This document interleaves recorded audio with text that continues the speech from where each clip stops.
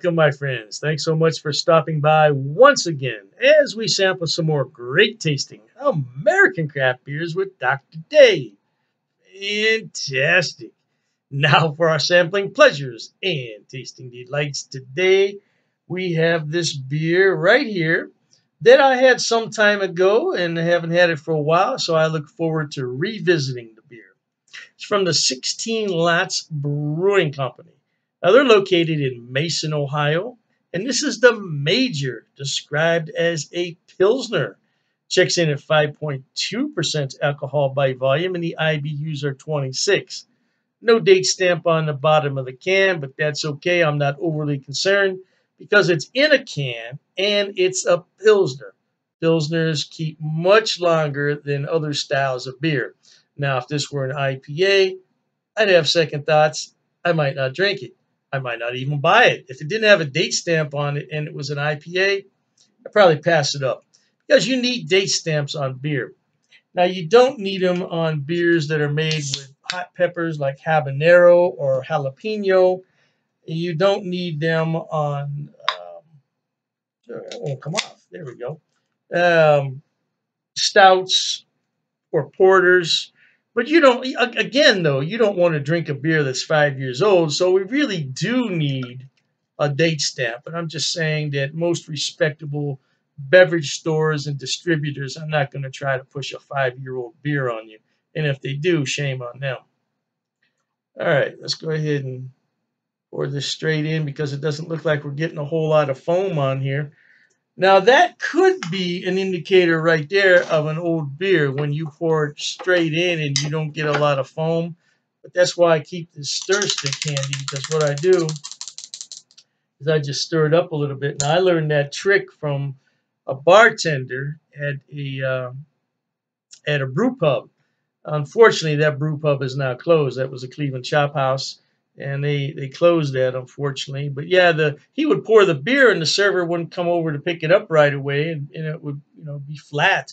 But you just put the stir stick in there, and and you see the results because that's how you want to serve a beer in a brew pub. You don't want the beer to be down here and then have that much empty space. You don't want that. Oh, it smells quite lovely. Mmm, nice floral bouquet in there. No spiciness. I like a little bit of spiciness, but I'm not picking that up. Ah, now I did pick up that spiciness on that second uh, smell there. Well, hey, let's thank the brewers at 16 Lots Brewery in Mason, Ohio for all the hard work they put in brewing this batch of beer. And cheers to them and cheers to you at home, no doubt.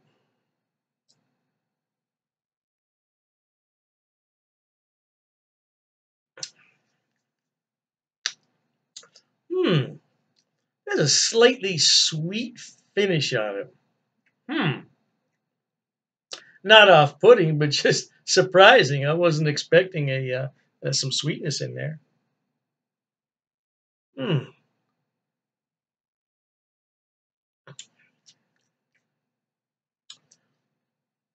Sweetness is from the malt. That's what it is. So this beer, and it could be it could be an old beer. I don't want to sit here and say that it is for sure. Excuse me.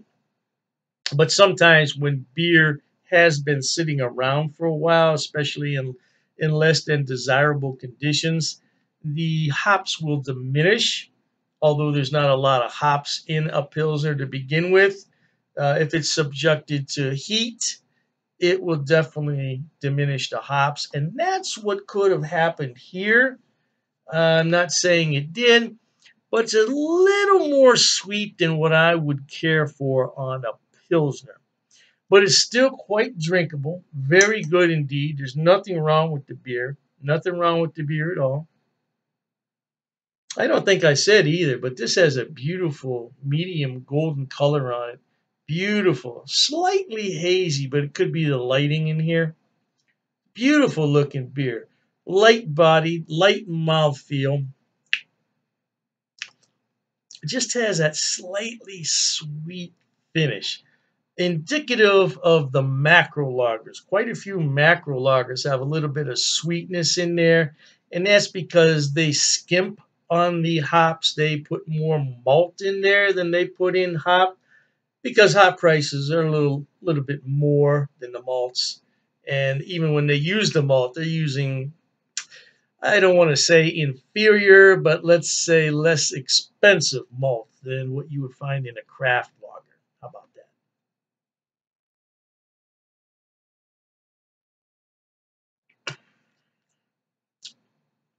Very doable, very decent. It would go well with just about any food you could imagine. Not offensive in the least. A good beer to sit around and chew the fat with everybody. It's only 5.2%. Remember, You drink enough of them, though, it'll make you tipsy, no doubt about it. Any alcoholic beverage will make you tipsy if you drink too much. hey, I'm going to run out of here, but I highly recommend this. Uh, possibly, I can take a trip to the brewery and get it on tap, and then I can tell you for sure what's going on with the beer. The major, baby. Yeah, major. Life is short. Let's be happy, my friends, because when it's gone, it's gone. Until we meet next time, here's wishing all of you the very best of goodbyes. And as always, cheers.